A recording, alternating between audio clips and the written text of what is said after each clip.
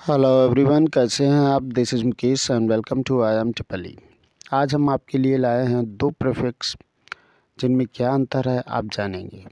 पहला है N T A N T E N T जिसका मतलब होता है पूर्व। एग्ज़ाम्पल अगर जो हम लेते हैं तो है antecedent antedate anteroom antecedent का मतलब है पूर्ववर्ती। एंटी डेट का मतलब है कोई निर्धारित तिथि से पहले की डेट ले लेना।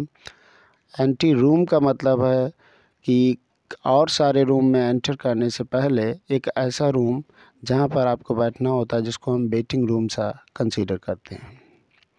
दूसरा आपका प्रीफिक्स है N T A N T I जिसका मतलब होता है के विपरीत। के विपरीत अगर एग्जांपल्स लेते हैं तो है आपका एंटी क्लॉकवाइज मतलब क्लॉकवाइज जब घड़ी की सुई घूमती है तो एंटी लगा देंगे तो वो उल्टा घूमने लगती है। जिसको अमेरिकन इंग्लिश में काउंटर क्लॉकवाइज भी कहा जाता है। एंटीसेप्टिक एंटीसेप्टिक क्रीम होती है जो कि सड़न को रोकती है।